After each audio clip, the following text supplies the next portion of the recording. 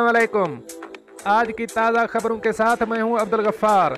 सबसे पहले आपसे एक रिक्वेस्ट करूँगा, अगर आप हमारे चैनल पर नए हो तो प्लीज़ हमारे चैनल को सब्सक्राइब कर दें। साथ बेल आइकॉन को भी प्रेस कर दें ताकि नई आने वाली वीडियो का नोटिफिकेशन सबसे पहले आपको मिल सके।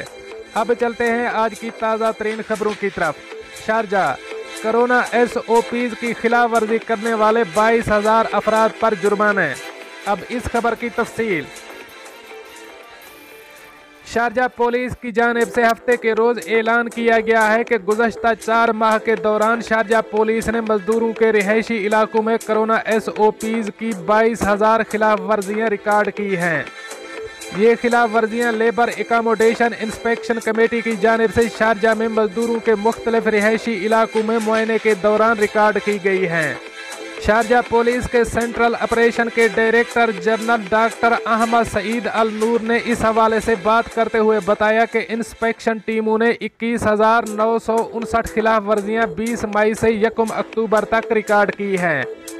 उन्होंने मजीद बताया कि इन बाईस हज़ार खिलाफ वर्जियों में से कोरोना एस ओ पीज़ की छः हज़ार नौ सौ उनसठ खिलाफ वर्जियाँ सनती इलाकों में रिकॉर्ड की गईं।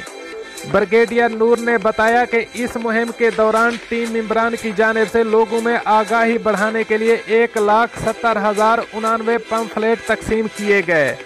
और उन्होंने अवाम से दरख्वास्त की है कि वो ऐसी खिलाफ वर्जियों की फौरी तौर पर पुलिस को इतला दें। मजीद बरा इस माह के शुरू में पुलिस की जानब से बताया गया था कि पुलिस ने एक माह में पाँच हज़ार चार सौ बत्तीस अफराद को कोरोना एस ओ पीज की खिलाफ वर्जी पर जुर्माना आयद किया था। ख्याल रहे कि मुतहदा अरब अमारात में कोरोना केसेज में हालिया इजाफे के पेश नज़र मुल्क भर में कोरोना एस ओ पीज की खिलाफ वर्जी करने वाले अफराद के खिलाफ कार्रवाइयाँ तेज़ कर दी गई हैं। और पुलिस खिलाफ वर्जियों के मरतकब होने वाले अफराद के साथ किसी किस्म की नरमी नहीं बरत रही। अब चलते हैं हमारी अगली खबर की तरफ़। शारजा में तेज रफ्तार कार पेट्रोल पंप पर चढ़ दौड़ी। फ्यूल मशीन से टकराने से दो अफराद जख्मी। अब इस खबर की तफसील। शारजा में इतिहाद रोड पर वाक़ पेट्रोल पंप में तेज़ रफ्तार गाड़ी घुस गई और पंप से जा टकराई, जिसके नतीजे में पेट्रोल पंप के दो मुलाजमीन जख्मी हो गए हैं। शारजा पुलिस के commander in chief major general Saif Aljari Alshamsi ने बताया है कि पुलिस ने ड्राइवर को गिरफ़्तार कर लिया है। हिंदुस्तानी और फिलिपीनी मुलाजिम को मामूली जख्म आए हैं और उन्हें इलाज के लिए अलकसीमी हस्पताल मुंतकिल कर दिया गया है। इस वाक़े की सीसीटीवी फुटेज में दिखाया गया था, ये हादसा रात ग्यारह बजकर चवालीस मिनट पर पेश आया।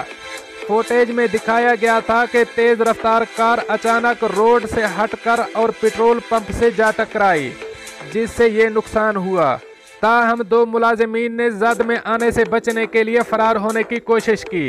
इस हादसे की वजूहत जानने के लिए थाना बोहेरा ने तहकीकात का आगाज़ कर दिया है। अब चलते हैं हमारी अगली खबर की तरफ़। सरकारी मुलाजिम के साथ बदतमीजी न कीजिए, मुतहदा अरब अमारात में वार्निंग जारी। अब इस खबर की तफसील। वफाकी इर्तगासा आमा ने अवाम को खबरदार किया है कि सरकारी मुलाजिम के साथ बदतमीजी कानून के मुताबिक संगीन जुर्म है। खिलाफ वर्जी पर करार वाकई सजा दी जाएगी। एक आगाही मुहिम के सिलसिले में जारी की गई वीडियो में बताया गया है कि वफाकी पैनल कोड के आर्टिकल 248 के मुताबिक जो शख्स किसी सरकारी मुलाजिम के खिलाफ ताकत का इस्तेमाल करे या नामुनासिब ज़बान का इस्तेमाल करे या गैर शाइस्ता रवैये से पेश आए या दौरान ड्यूटी इसके काम में खलल डाले तो इस शख्स को एक साल जेल की सज़ा होगी। अगर किसी शख्स ने सरकारी मुलाजिम की तशखस को नुकसान पहुँचाने की कोशिश की और वो कामयाब भी ना हो तो उसे भी जेल की सलाखों के पीछे पहुँचाया जाएगा। वीडियो में कहा गया है कि इर्तगासा आमा अवाम में आगाही के लिए ये मुहिम चला रही है, जिसका मकसद अवाम में कानून के एहतराम का कल्चर परवान चढ़ाना है।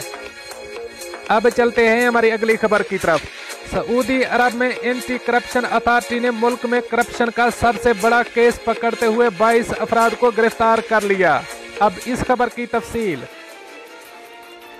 गैर मुल्की मीडिया के मुताबिक एंटी करप्शन अथॉरिटी ने 600 मिलियन सऊदी रियाल से जायद की करप्शन पकड़ी है और केस में 22 अफराद को गिरफ़्तार किया। इस केस को सऊदी अरब का सबसे बड़ा करप्शन केस करार दिया जा रहा है। अरब मीडिया के मुताबिक इस केस में तेरह सरकारी मुलाजमीन को गिरफ़्तार किया गया, जिनका ताल्लुक रियाज की म्यूनसिपलिटी से है।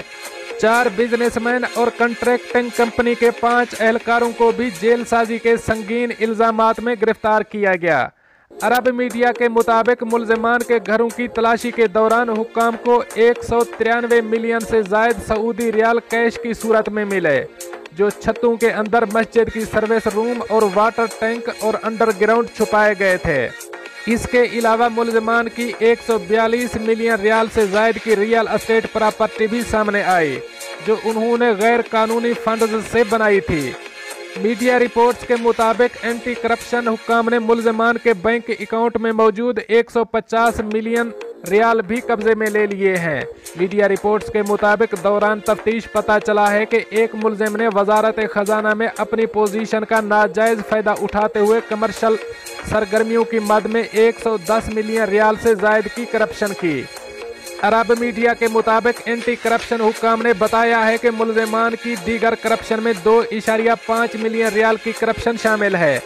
जिनमें grocery prepaid cards fuel cards और गैर मुल्की करेंसी शामिल है। दोस्तों, ये थी कुछ आज की ताज़ा तरीन अपडेट्स जो मैंने आपके साथ शेयर की।